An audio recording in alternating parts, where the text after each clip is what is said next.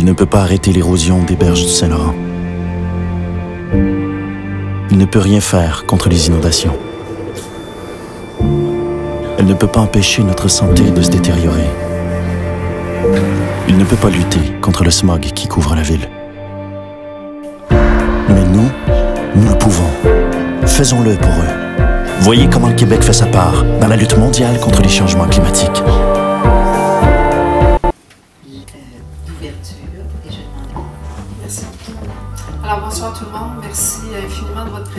Euh, euh, Ariane, je le mentionnais il y a quelques minutes, nous sommes dans le continuum d'une démarche qui est euh, entreprise depuis mai 2014. Euh, je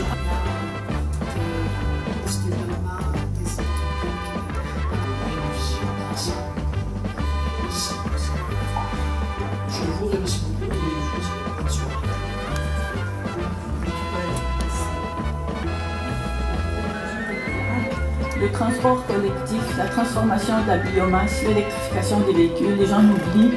En passant, j'aimerais apporter une petite idée pour créer des emplois en région.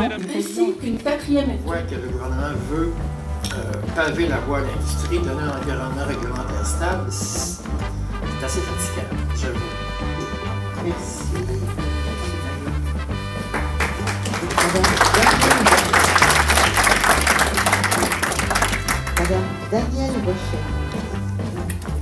J'ai décidé de participer à la présente consultation, j'ai compris que le temps alloué pour nous préparer ne nous permettait pas de lire 4000 pages d'analyse sur les hydrocarbures.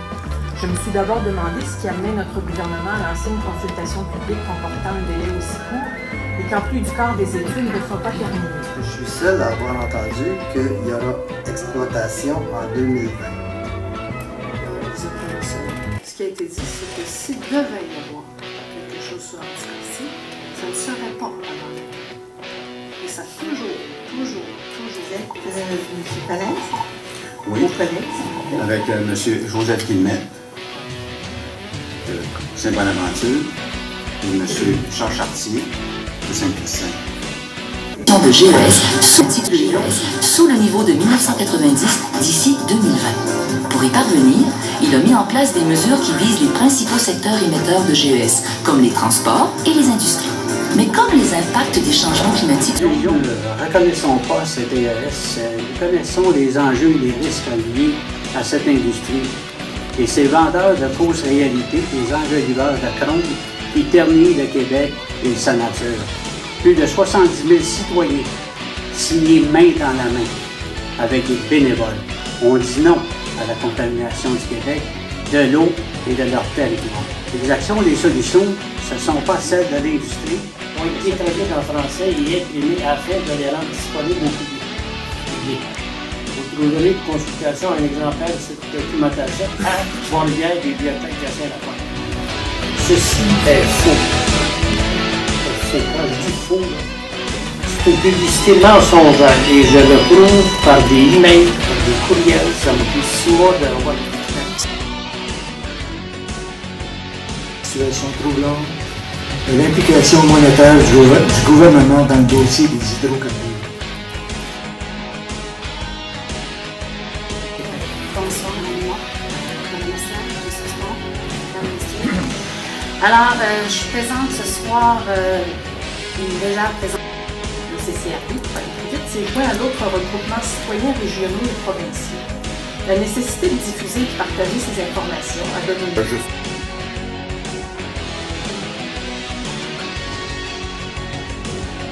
ministre de l'Énergie et des Ressources naturelles, M. Pierre Arcan, accepte l'invitation de l'association et déclare le 9 novembre que, je cite, le Québec aura avantage à tirer profit de son potentiel en hydrocarbures, en ajoutant, je cite, tout en respectant l'environnement.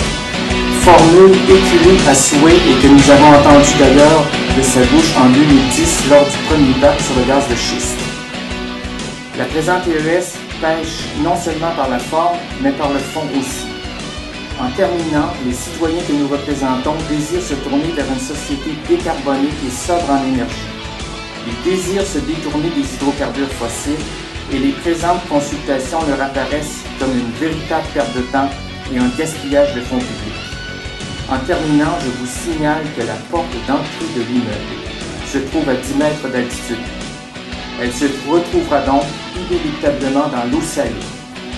Je vous pose la question, qui s'en soucie dans cette PES? Merci. J'ai remarqué pour avoir parti. D'ailleurs, euh, pour commencer, je suis très épaté des, euh, des mémoires, la qualité des mémoires qui ont été livrées ce soir par des et citoyens, des citoyens entre autres, qui prennent le temps, qui ont pris le temps. Et je ne sais pas si nos, nos- nos, euh, nos politiciens, nos ministres et premiers ministres sont au courant ou ont une, idée du temps qu'il faut mettre pour être en mesure de préparer des mémoires semblables ou d'être informé suffisamment dans des dossiers aussi complexes. Euh, je vous jure que ça en demande du temps. Pour avoir participé à tout, à toutes les audiences qui ont eu lieu depuis euh, 2010, les premières fois à l'Hôtel des Seigneurs à Saint-Hyacinthe, on avait du café, des beignes. la semaine, euh, hier, euh, hier soir, euh, la dernière euh, audience publique qui a eu lieu à Saint-Hyacinthe, on avait du café, plus de beignes. Hier soir, à, l'Hôtel Delta, on avait des verres d'eau. Ce soir, on n'a même plus d'eau en arrière. Je vais en profiter pendant que j'étais en avant. Il y en a ici.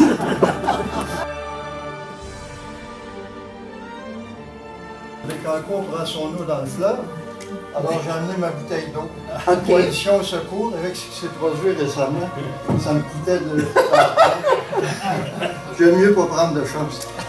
Bon, écoutez, on lance Ah, du et- pas là-dessus. Écoutez,